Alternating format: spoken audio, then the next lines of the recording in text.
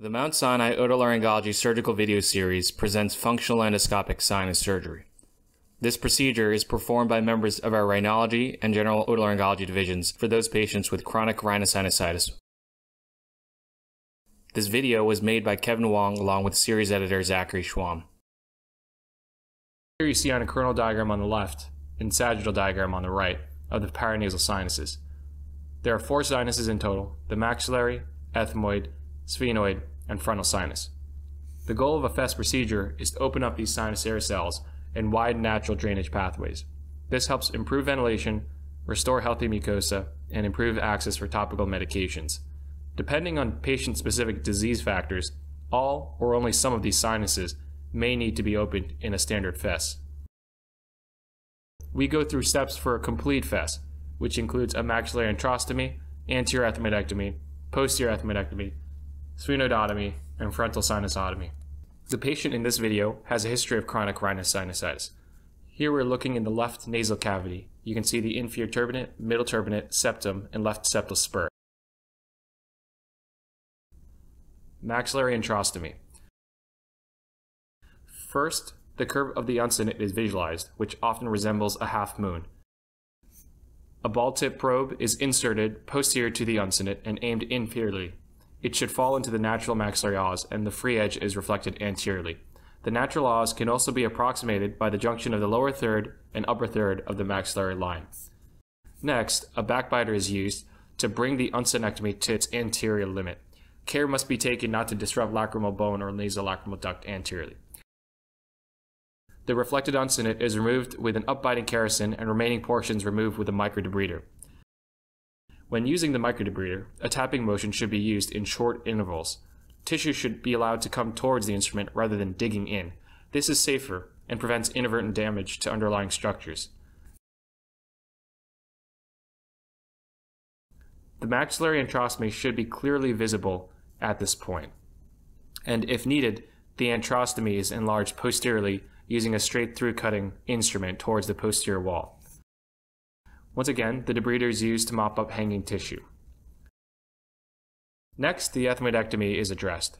Ethmoidectomies are classified as partial or total depending on whether the anterior or posterior ethmoid cells are removed. The first step in an anterior ethmoidectomy is to identify and resect the ethmoid bulla. We typically use a J curette to enter the bulla, starting in the retrobullar space and fracturing forward. We then remove remaining partitions using a combination of through-cutting instruments and microdebriders. Once the bulla has been fractured, remove bony fragments with Blakesley forceps or a straight microdebrider. It is important to use mucosa-sparing techniques. Through-cutting instruments and Blakesley forceps can be used to cut and remove ethmoid bony partitions, but forceps should be used sparingly when removing mucosa to prevent stripping.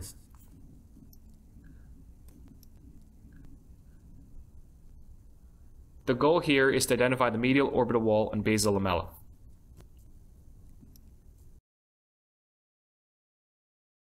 The basal lamella is the portion of the middle turbinate that curves laterally and attaches to the lateral nasal wall. On this axial CT scan of this patient, you can see the basal lamella highlighted in yellow, which divides the anterior ethmoid cells, shaded in red, from the posterior ethmoid cells, shaded in green. The next important point of reference is the roof of the maxillary sinus, which serves as both the point of entry of basal lamella and height of the sphenoid os. Once the basal lamella is entered, this marks the start of our posterior ethmoidectomy. The posterior portion of the middle turbinate is removed first in order to visualize the superior turbinate.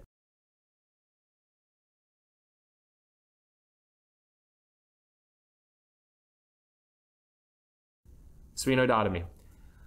Using the height of the maxillary roof as a guide, one third of the lower superior turbinate is resected using through cutting instruments to reveal the natural sphenoid os. A freer is then inserted into the natural os to widen it. And the opening is further widened up to the skull base and laterally to lamina using a kerrison or mushroom punch. With the sphenoidotomy complete and skull base defined, we now turn back to ethmoidectomy of the superiormost cells. Starting posteriorly at the skull base, ethmoid partitions are dissected off of skull base using a combination of kerrison, through cutting instruments, and microdebriders.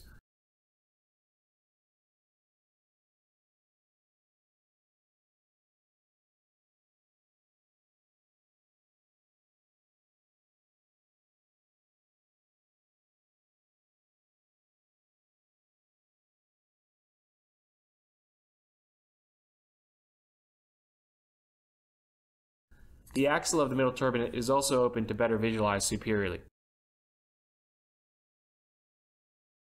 Dissection continues from a posterior to anterior direction until the roof of the ethmoid bulla and suprabullar recess are reached. This marks the completion of the total ethmoidectomy. This is also the portion of the case when we use an angled endoscope to examine the maxillary antrostomy to incorporate the natural os if it was not reached with zero degree instruments. The ideal shape of a completed antrostomy is pear-shaped, with the anterior portion dissected just posterior to the nasolacrimal duct, bone fragments removed, and mucosal edges trimmed. Here we see the open cavity with maxillary antrostomy on the right, cleared ethmoid air cells, and sphenoid opening posteriorly. Frontal sinusotomy. The first step of frontal sinusotomy is to identify the anterior ethmoid artery, which lies posterior to the frontal recess. The natural drainage pathway of the frontal sinus is next identified. This is often described as a shadow recess known as the transition zone, which is posterior to the agger nasi, Many times the opening may be tiny or even hidden by redundant mucosa that requires gentle suctioning or probing to reveal. Once the frontal drainage pathway is found, remnant agger nasi is removed using a combination of side-to-side and front-to-back through-cutting instruments.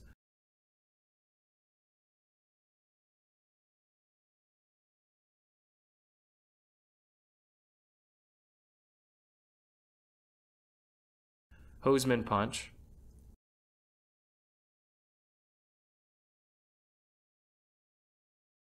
curved microdebriders,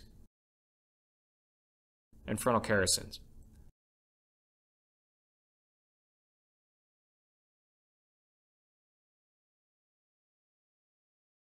Finally, the posterior bony wall between the supraorbital ethmoid and the frontal recess is opened,